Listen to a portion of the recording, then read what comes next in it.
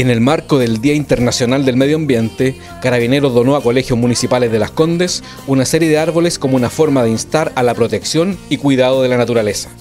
En ese ámbito, funcionarios de la 47 Comisaría Los Dominicos visitaron los colegios San Francisco del Alba y San Francisco del Alba Técnico Profesional para, en conjunto con la comunidad escolar, realizar la plantación de estas especies arbóreas. La verdad es que Carabineros de Chile, eh, a través de la integración comunitaria, busca que en un trabajo conjunto con, la comunidad se busque también a través de estos pequeños planes de, plantación de árboles, etcétera, que los niños se integren más a la comunidad, que tengan una conciencia civil, ¿no es cierto? Y sean capaces ellos también de preocuparse del medio ambiente, tengan una conciencia respecto de su, de su mundo.